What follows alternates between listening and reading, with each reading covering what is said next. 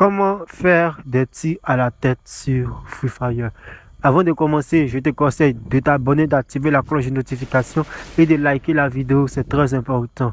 Ok, aujourd'hui je vais répondre à la question comment faire des tirs à la tête sur Free Fire? Alors, il est plus facile de faire des têtes avec des armes qui ont cadence de tir plus plus. Ok, pour voir si ton arme a cadence de tir plus plus, on va se rendre dans, dans arme. Ok, une fois dans arme, on va regarder les attributs des armes. Les attributs, on regarde juste en bas là.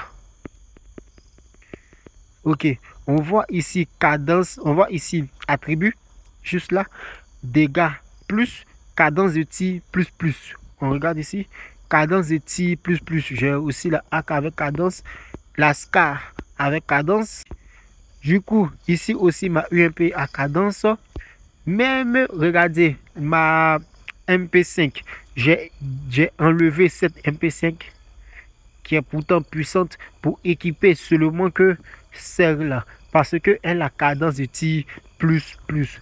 Les gars, les armes qui ont cadence de tir plus plus font beaucoup plus de tirs à la tête que les autres armes. Donc, si vous avez des armes avec cadence de tir, équipez-les. Euh, ça va beaucoup vous aider. Alors, pour faire des têtes plus facilement, il faut une bonne sensibilité. Avoir une bonne sensibilité est même la base de ce jeu. Alors, je vais vous montrer ma sensibilité, c'est-à-dire la sensibilité que j'utilise. Mais avant, vérifie bien si tu as liké la vidéo et si tu as activé la cloche de notification. Alors, si c'est fait, je vous montre ma sensibilité. Ok, voici la sensibilité que j'utilise en ce moment. Lorsqu'on parle de sensibilité, on parle aussi de HUD. Pour ceux qui ne connaissent pas, pour ceux qui ne savent pas c'est quoi? HUD, c'est l'emplacement des touches du jeu. Donc on va se rendre en contrôle. On va se rendre dans HUD sur mesure.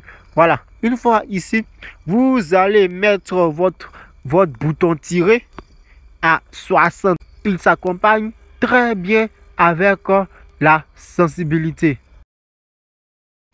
Le DPI permet de faire les têtes plus facilement parce qu'il augmente le temps de réaction de votre téléphone.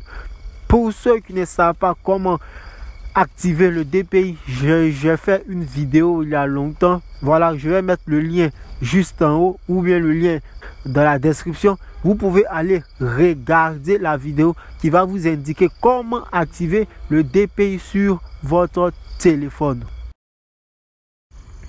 il faut faire le noob walk. Ok, c'est quoi le noob walk J'explique. Le noob walk, c'est le mouvement que fait les bolts avant de tirer.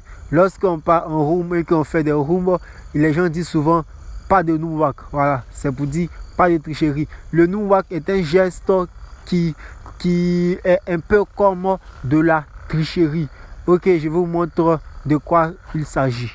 Ok, ok. Le nouveau il s'agit de tourner en rond comme ça et quand l'ennemi se présente, de tirer sur lui. C'est un système un peu comme de la tricherie parce que c'est un peu automatique. Tu tournes sur toi-même, tu tournes et dès que l'ennemi se présente, tu lui tires dessus directement. Un peu comme ça, tu tournes et tu tires. Tu tournes et tu tires. Vous voyez, c'est un mouvement que, que les gens n'aiment pas parce que c'est un peu facile. Mais ça peut te servir en CSR, c'est-à-dire en, Clash Card. En Clash Card, tu tournes, tu tournes et tout d'un coup, tu tires. Tu tournes, tu tournes et tout d'un coup, tu tires. On appelle ça le noob Voilà.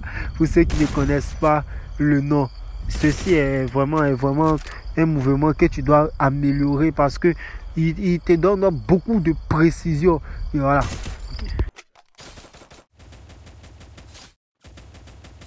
Ok, le plus important reste aussi de s'entraîner et de se laisser le temps. Il faut beaucoup s'entraîner pour avoir un gameplay parfait.